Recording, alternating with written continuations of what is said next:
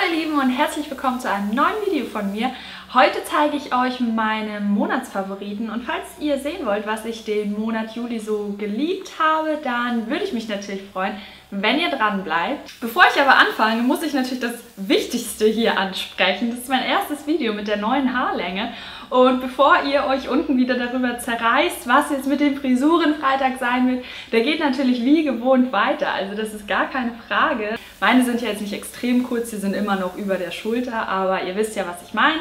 Auf jeden Fall für alle, die durchgedreht sind, was es mit dem Frisurenfreitag ist, der wird auf jeden Fall noch ähm, weitergeführt, ganz klar. Ohne Frage, Leute. Keine Panik. Also das erste Produkt, was ich euch aus dieser Kategorie zeigen möchte, ist ein altes Produkt, was ich jetzt quasi neu für mich gefunden habe. Und zwar ist es die Foundation von Catrice, die All Matte Plus. Und ich hatte sie mal während meiner unreinen Hautphase benutzt und habe dadurch leider noch mehr Unreinheiten bekommen. Und jetzt ist meine Haut zum Glück besser geworden und ich, ich muss irgendwo gegen klopfen, gegen Holz, dass das nicht bricht. Meine Haut ist auf jeden Fall jetzt besser und deswegen dachte ich, versuche ich das nochmal. Ich weiß, es ist ziemlich risky, aber wenn mir langweilig ist, mache ich Quatsch. Also habe ich sie nochmal gekauft und bin super begeistert. Gerade in so warmen Tagen ist es einfach etwas, was mir total hilft zu mattieren und diesen Speckglanz wegzulassen. Ich trage sie jetzt gerade und ich filme mit zwei Scheinwerfern zu beiden Seiten und ich finde, man sieht den Glanz einfach nicht so stark und es ist schon mal sehr, sehr schwer hinzubekommen. Das zweite Produkt, was ich total für mich entdeckt habe, kann ich eigentlich nicht zeigen. Ihr werdet mich auslachen, weil das so ein alter Hype ist, den ich jetzt aber vor kurzem erst für mich entdeckt habe. Shame on me. Und zwar ist es der Hula Bronzer von Benefit. Am liebsten trage ich den auf mit dem Art Deco Puderpinsel und ähm, geile Kombi, bin ich echt begeistert. Also ich benutze nicht dieses Ding, was da drin ist. Ich finde Warum macht man das eigentlich rein? Oder also benutzt es jemand? Könnt ihr mir das bitte hinschreiben, ob ihr wirklich mit so mitgelieferten Pinseln aus so einem Set irgendwas anfangen könnt? Mein nächster Favorit diesen Monat ist eine Lidschattenpalette und ich habe euch ja schon öfter mal erzählt, ich benutze sehr, sehr selten Lidschatten. Also ich mache mir eigentlich immer nur dieses schwarze äußere V und ein bisschen was helleres in die Innenwinkel. Punkt. Aber ich bin auf eine Palette ähm, aufmerksam geworden von Zoeva und zwar die Naturally Yours Palette. Und ich muss sagen, ich bin echt, seitdem ich sie kenne, bin ich wirklich verliebt, weil sie unglaublich schöne Farben hat. Diese Palette könnt ihr direkt bei Zoeva bestellen. Ich rede ja auch immer von den Zoeva Pinseln. Habe mir letztens auch wieder ein Lipgloss dort bestellt. Ich mag die Produkte unheimlich gerne. Ich werde euch den Link unten ähm, einmal in die Infobox setzen, dass ihr da vielleicht mal schaut. Ich glaube, diese Palette hat ungefähr 15 Euro gekostet. Ähm, ich musste gerade mal zählen, wie viele Sachen da eigentlich drin sind. Peinlich! Mein nächster absoluter Favorit ist einmal ein Blush von Art Deco. Und ich habe euch schon so häufig ähm, davon erzählt, wie sehr ich ihn liebe. Ich hatte in meinem Get Ready With Me dieses Produkt benutzt und ihr alle fandet den so schön, dass mich unglaublich viele Leute gefragt haben, wo hast du den her? Ähm, das ist jetzt einmal der Mineral Baked Blush in der Farbe paar Nummern, ich werde es euch einblenden. Und ihr könnt euch nicht vorstellen, wie unglaublich gern ich den benutze. Ich habe ihn jetzt schon seit ungefähr zwei Monaten und ich musste den jetzt mal erwähnen, weil es ist das einzige Produkt, was ich benutze. Ich trage ihn heute auch schon wieder und es ist einfach so ein unglaublich schöner alltagsfarbener ähm, Ton, der so ein bisschen ähm, reflektierende Elemente noch drin hat, sodass ich mir den Highlighter absolut sparen kann und ich liebe es einfach.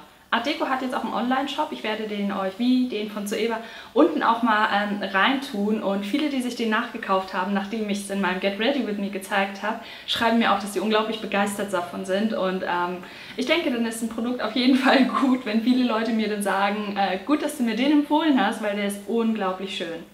Mein nächstes Produkt ist auch von Art Deco und das ist so ein Lip Crayon. Ähm, den hatte ich euch schon häufiger mal gezeigt. Das ist einfach der Glossy Lip in der Farbe 36. Er ist long lasting und das kann ich auch auf jeden Fall bestätigen. Ich hatte ein Bild gepostet mit, meinem, äh, mit meiner Alltagsroutine für mein Make-up. Das seht ihr einmal hier und äh, viele haben so gut darauf reagiert und das ist nämlich das, was ich da auf den Lippen trage. Ich weiß jetzt nicht direkt, ob das auch noch mit in die Kategorie ähm, dekorative Kosmetik fällt, aber ich möchte euch einen Liebling zeigen und zwar meinen Essie Nagellack in der Farbe Chubby Cheeks. Ich liebe diese Farbe, ich habe sie schon so oft geinstagrammt und ich mag es unglaublich gern. Es ist so ein schönes Rot, ich trage sie in diesem Bild auch zum Beispiel auf meinen Füßen und Essie-Nagellacke halten bei mir unglaublich lang. Also ich weiß, welche, die beschweren sich darüber, dass sie nicht so lange halten. Bei mir halten sie zum Glück lang. Beziehungsweise habe ich irgendwie wohl die richtigen Farben erwischt, wo die Farbe wirklich lange hält. Ich denke, das ist auf jeden Fall ein Bonus, dass es lange hält, weil ich ein absoluter Hater bin, was äh, das Abnehmen von Nagellack anbelangt. Aber in meiner nächsten Kategorie werde ich euch auf jeden Fall noch ein Produkt zeigen, was es mir sehr viel einfacher macht. Sind wir auch schon in der nächsten Kategorie mit dem Produkt, was mir das Nagellack abnehmen Dingsens leichter macht. Und zwar habe ich hier bei DM von Evelyn diesen Pot gefunden. Eigentlich hat sich den meine Freundin gekauft und ich habe ihn ihr nachgekauft, weil ich ein Dieb bin und ich bin super zufrieden, dass ich das gemacht habe, weil es so ein geiles Konzept ist. Kleiner Tipp von mir an euch, versucht nicht eure Füße da reinzustecken. Von daher, wenn ihr lackierte Fußnägel habt, solltet ihr das auf jeden Fall auf die ähm, altmodische Art und Weise wegmachen. Ein nächstes Produkt ist vom Body Shop und zwar ist es einmal der Aloe Lip Care. Ich hatte dieses Produkt gekauft, als ich unglaublich starke Probleme mit meinen Lippen hatte. Die waren so trocken und so furchtbar, dass ich einfach ich, ich konnte dann, also nichts hat geholfen, nicht mal die Kaufmannscreme. Es war einfach nur, es war vorbei, sagen wir es mal so. Unglaublich gutes Produkt, äh, mag ich sehr, sehr gerne. Ist meiner Meinung nach viel zu überteuert. Ich glaube, es kostet 15 oder 17 Euro. Bodyshop, was soll das? Hm?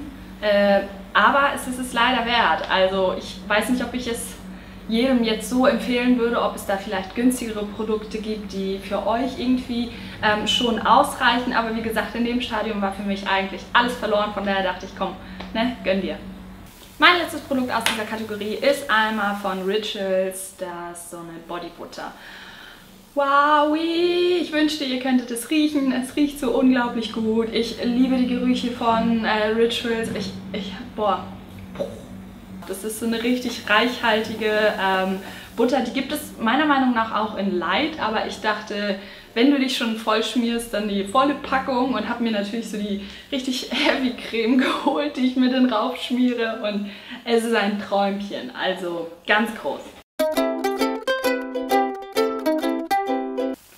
Bereits bei Instagram ein Bild gepostet von meinen neuen Lieblingsschuhen. Und zwar sind das so Ledersandalen, die ich bei Promot gekauft habe.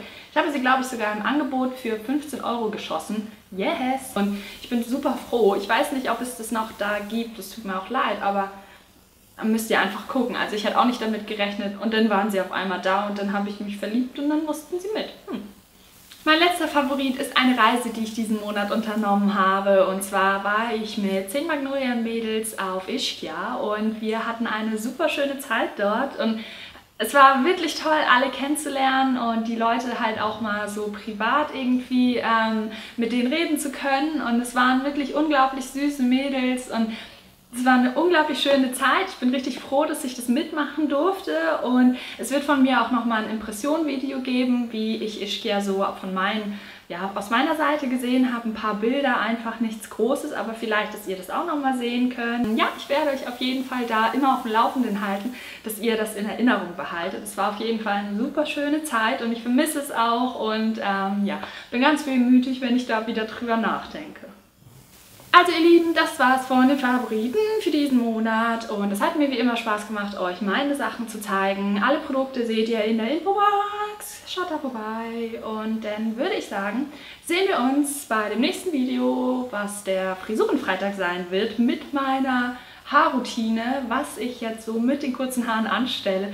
Von daher, wenn es euch interessiert, meine Geschichte, meine Laufbahn, meine Frisuren, mein Entsetzen, das ganze Drama, dann schaltet ihr da mal wieder ein. Aber für heute wünsche ich euch einen wundervollen Tag und dann bis zum nächsten Mal. Auf Wiedersehen. Nein, so sage ich das nicht. Ciao!